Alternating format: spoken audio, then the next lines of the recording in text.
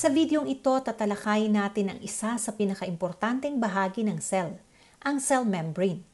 Ang cell membrane ay nagpapanatili ng homeostasis ng cell sa pamamagitan ng pagkontrol sa lahat ng mga pumapasok o lumalabas sa cell. Ang cell membrane ay hindi isang solidong bagay na nakapaligid sa cell. Sa halip, ito ay medyo may pagkalikido. Kaya ito ay tinatawag na fluid mosaic. Ang ibig sabihin ng mosaic ay maraming mga parte ang cell membrane na pinaghalo-halo. Fluid naman dahil lahat ng mga parte ay gumagalaw o dumadaloy sa loob ng cell membrane. Suriin nating maigi ang bawat parte ng cell membrane at kung ano ang silbi nila. Unahin natin ang mga phospholipid. Sila ay bumubuo ng kalahati ng cell membrane. Ang phospholipid ay may dalawang parte. Ang ulo ay hydrophilic o umaakit ng tubig at ang buntot ay hydrophobic o nagtataboy sa tubig. Dahil dito, ang cell membrane ay may tinatawag na bilayer na istruktura. May dalawang hanay ng mga phospholipid at ang loob ng bilayer ay merong mga buntot ng phospholipid at ang labas ng bilayer ay merong mga ulong hydrophilic. Napapanatili ang ganitong pagkaayos ng bilayer dahil sa hydrophobic at hydrophilic na bahagi ng mga phospholipid.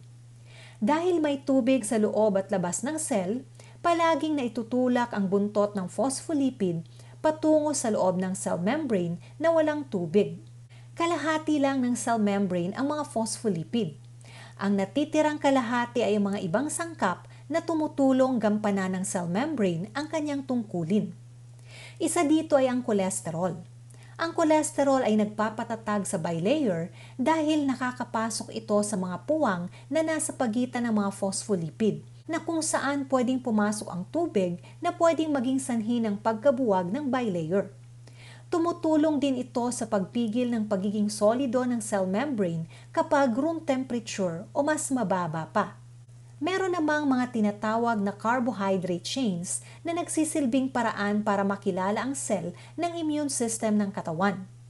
Kung walang mga carbohydrate chain, malilito ang immune system kung alin ang pwedeng atakihin at baka mapagkamalan ang mga cell ng mga masasamang bakterya. Meron ding protein channels. Nagiging daanan ito ng mga molecule na pumapasok o lumalabas sa cell sa pamamagitan ng diffusion. Walang ginagamit na energy ang cell dito dahil gumagalaw lang ang mga molecule galing sa mataas na concentration patungo sa mababang concentration. Dahil kinokontrol ang pagpasok o paglabas ng iba't ibang mga molecules, ang cell membrane ay isang klase ng membrane na tinatawag na semi-permeable. Ito ay dahil meron lang ng mga piling molecule na pwedeng pumasok o lumabas. Kapag walang nakakapasok o nakakalabas, ito ay tinatawag na impermeable membrane. Ang halimbawa nito ay ang lignin cell wall na may wax na pumipigil sa pagpasok ng lahat ng molecules meron namang membrane na pinapapasok ang lahat. Ito ang permeable membrane. Ang halimbawa nito ay ang cellulose cell wall na merong mga malalaking pores o butas na pwedeng daanan ng mga molecule. At yon ang mga importanteng bahagi ng ating cell membrane. Kaya tunay na importante ang cell membrane sa mga cell ng ating katawan.